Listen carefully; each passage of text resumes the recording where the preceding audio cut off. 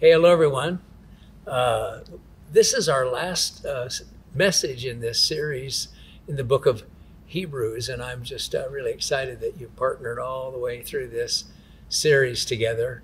So we're in chapter 12, uh, verse 14 through 17, and then all of chapter 13. And this is what I would call the practical section of the book of Hebrews, where uh, rubber meets the road, so to speak, where we learn how to walk out our faith in practical ways. And one of the things I mentioned again this Sunday and I did last week is just the importance of the Holy Spirit in our life. That we, since we live by the Spirit, it says in Galatians 5 25, since this all started because of a miracle God did in our life when Jesus came in, since we live by the Spirit, let us learn how to stay in step with the Spirit. And I love that it's a relationship with the person of the Holy Spirit, but I also need practical guidelines. So when I'm getting uh, off base a little bit, uh, when I'm when I'm getting out of line maybe a little bit, I have scriptures that remind me of what I need to do or how I need to think or decisions I need to make. And I I really believe that uh, Hebrews 12 and 13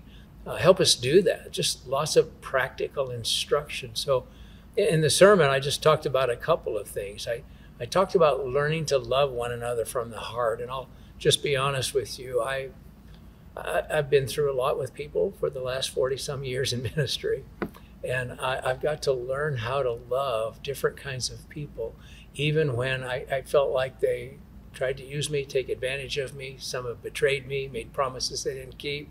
Just been a lot of things.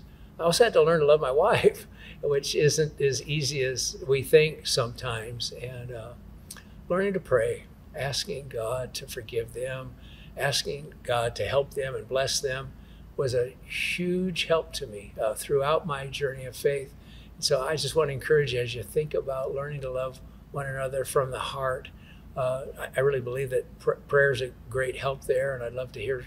I'd love you to share some of your stories that you've been through in your life, and how can I love that person?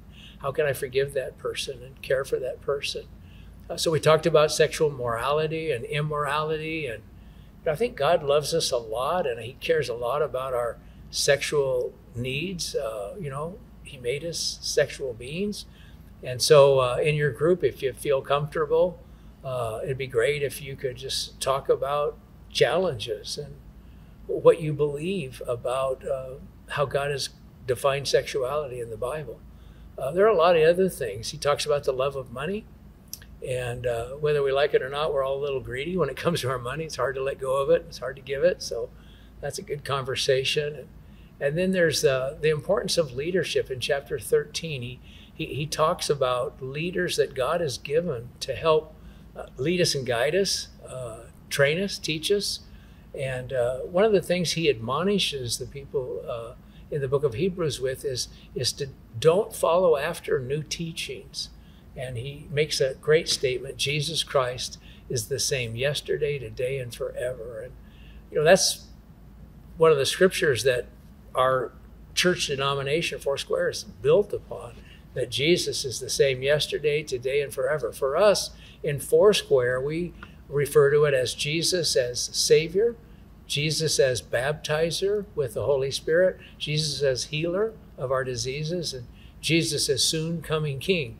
I guess you could see uh, our faith is all about Jesus and uh, who he is. And I really believe that knowing Jesus will help us discover what God has said, Old Testament and New Testament.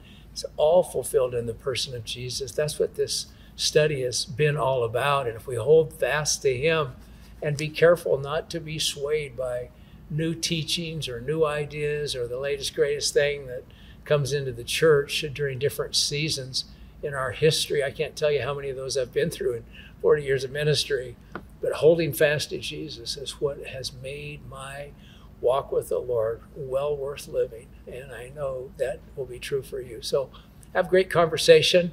Thanks for joining us and uh, pray for blessing on your gathering. And Jesus, I do that tonight or today we need the help of the Holy Spirit, and we need you, uh, Holy Spirit, to illuminate your word. So I pray that right now, Lord, as we read the word and talk about these things uh, this week, Lord, illuminate it in our heart and mind. Help us see things maybe we didn't see before. Help apply it to our life in ways that maybe we had never applied it before. Thank you for instructing and teaching us in the way we should go, counseling us with your eye upon us. Lord, we really do love uh, you, walking with you, and we love our friends in this group. Blessing on each one, I pray, in Jesus' name. Amen.